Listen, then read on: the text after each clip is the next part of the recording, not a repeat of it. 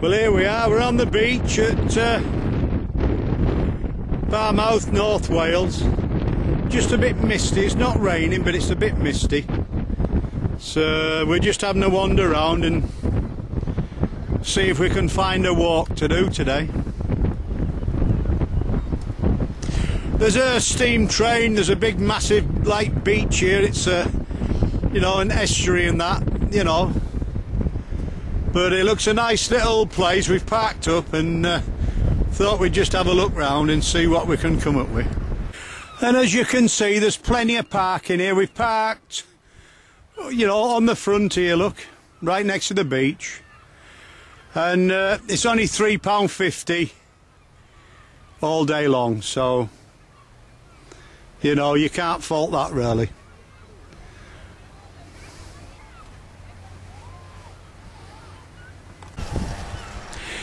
Yeah, so we've had a wander around Barmouth and we've decided to walk up to the bridge and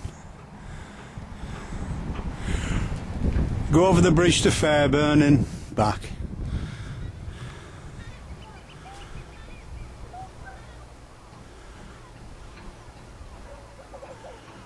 And we're going to cross to the other side now. And it costs you 70p return.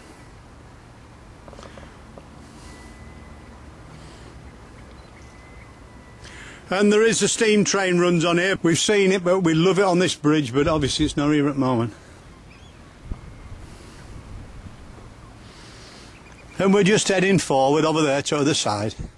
But this absolutely massive, massive estuary is this.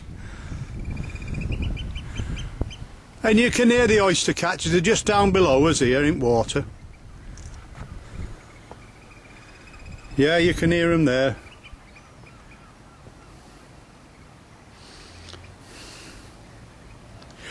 It's certainly a nice seaside resort is uh, is Barmouth. And you can see the steam train in the distance. That's only a small tourist one but the really big you know standard uh, steam train does run on this. But it's nice it's right in the middle of the estuary.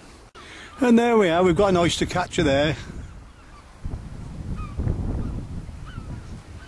We're just on Railway Bridge now, and the looks as if they're bringing them onto rails, some of them, to to Brecon, because there's loads of, on the bridge, there's loads of oyster shells here, or should I say mussel shells.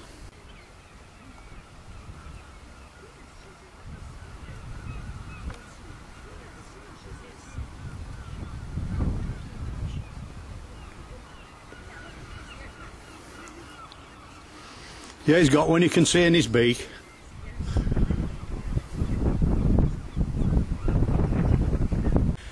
So if you do the shorter version you turn right at the just before the station or if you want to do the long version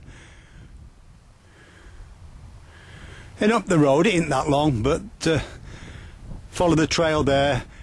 As you get to the car as you get up there a bit further you'll pick the road up about 100 yards topside at station where the car park is and follow the road round. And then that brings you the tiny steam train into the ferry or the short run like that, that takes you to ferry.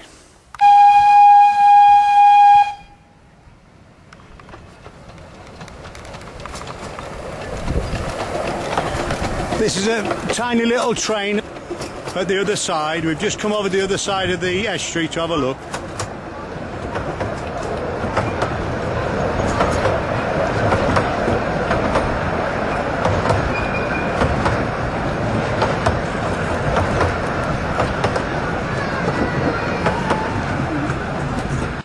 Yeah, so we've just left Fairbourne and we're just heading, following the railway track down. Like I say, you can go on the railway down to the ferry or we're just going to walk the wall and, and there's Barmouth at the other side.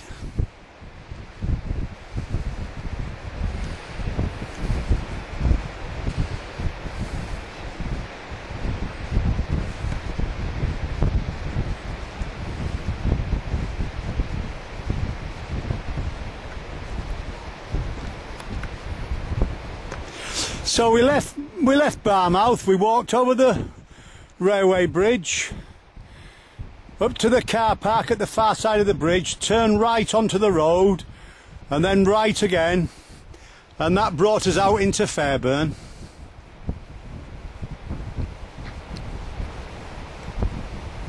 And then in Fairbourne, we walk along the seafront, watch, following the railway line that takes you down to the little ferry.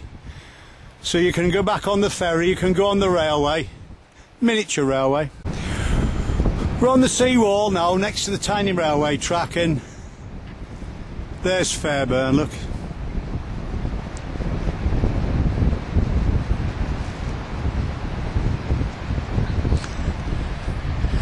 And it goes out to a big peninsula at the end.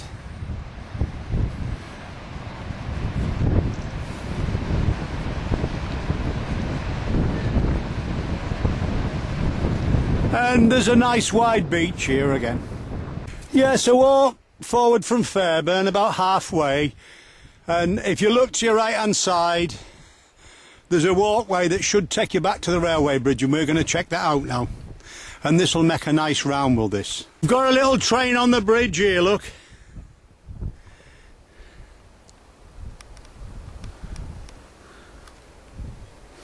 going over the estuary but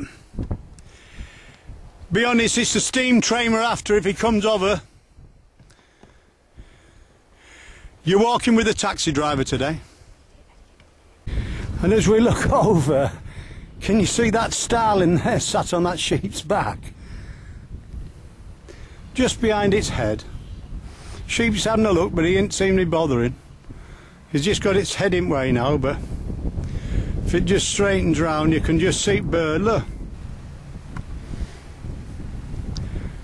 He's gone. He's jumped up on another, so it must know there's, you know, insects or something on his back. I think it must be used to doing it because sheep's not bothered and birds just sat there as, you know, as happy as how. It's got a good vantage point for any insects, I suppose. Looking towards Barmouth now, waiting for the steam train and uh, let's hope we catch it. Here we are, getting ready for the steam train. We're just coming out of Barmouth now. There we are, can see steam back at. Just see, there he is, there he is.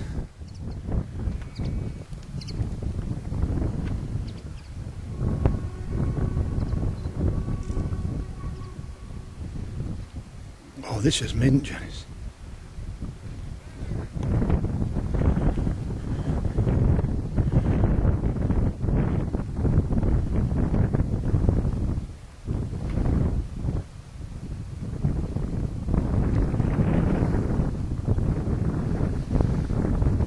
There he is, just coming through tunnel.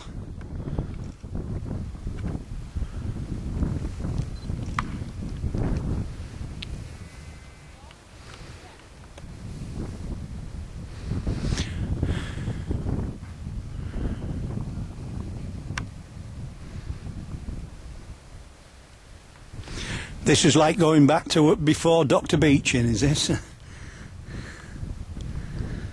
Just going another little swing bridge there.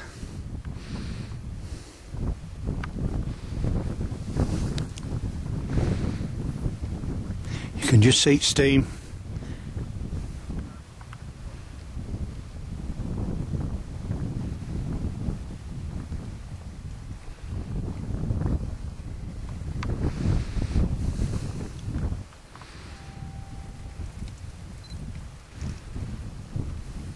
Doesn't that look fantastic? Just passing over the estuary now. And you can hear him puffing away now.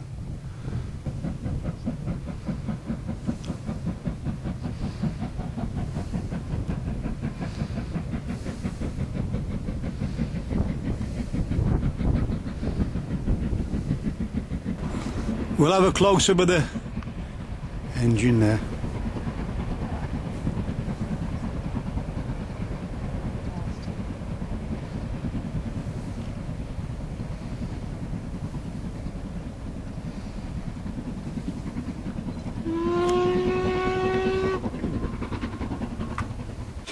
Yeah, so we've come back out at the station and if you look there's a hidden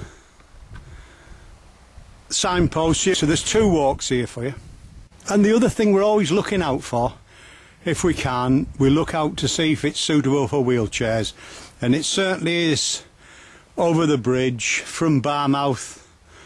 You know, most of this is suitable, but not all of it. Yeah, so we've turned left at the station and we're heading back towards Barmouth now. Yeah, we're just on the railway bridge now, crossing the estuary, and we the sun's come out, so we we're going to give this a go, see if we can get a good a good shot of the mountains there in the background. As you can see there, looks if the the tide's out because the the river's snaking round now. As was earlier on, it was um, you know covering it. We look over, we can see where the where the railway terminus is there. Look.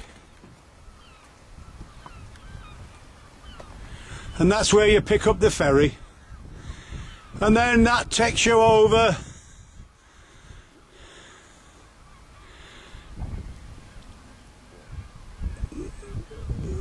towards Barmouth there yeah this is Barmouth Harbour here look and there's a pier that's at the end there look the they're all fishing for crabs with little, them little uh, crab lines. We might have a go at that later on ourselves.